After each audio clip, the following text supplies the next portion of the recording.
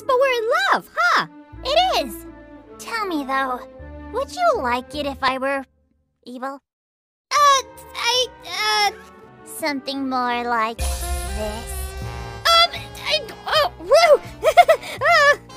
Maybe I'll perform some necromancy. Do something real bad.